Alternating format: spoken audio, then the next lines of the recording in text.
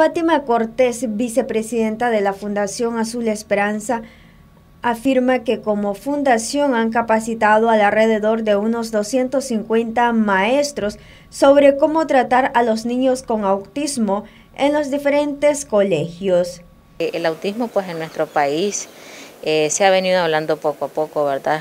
Como decimos el buen nicaragüense, todavía estamos en pañales, pero estamos haciendo el esfuerzo, ¿verdad?, para que las personas, la, la comunidad, la sociedad conozcan más de esta condición de vida, ¿verdad? También eh, capacitar, nosotros como fundación también hemos capacitado a maestros para que conozcan más de esta condición, cómo pueden interactuar las maestras con los, con los niños en el aula de clase, cómo pueden aprender ellos, porque hay que recordar que nuestros niños no aprenden de otra manera, ¿verdad? Entonces se hacen las adecuaciones curriculares dentro, dentro del aula de clase para que las maestras puedan trabajar también con nuestros niños.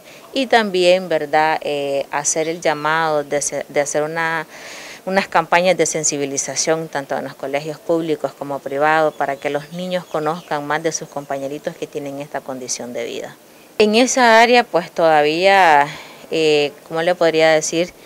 Estamos un poco escasos, pero sí eh, puedo hablar por medio de, nosotros, ¿verdad? Como fundación, hemos capacitado alrededor de 250 maestros aquí en Managua. Eh, se capacitaron 150 en, en, León y igual en Rivas. Entonces hemos estado haciendo un esfuerzo bastante grande, ¿verdad?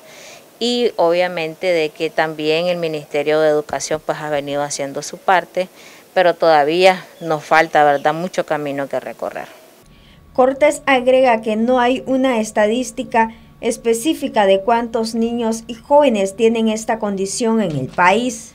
Todavía no hay una estadística. En Nicaragua no hay una estadística de cuántos niños, adultos, jóvenes tenemos aquí en el país con esta condición. Entonces todavía no tenemos una estadística por parte del Ministerio de Salud, no la hay todavía.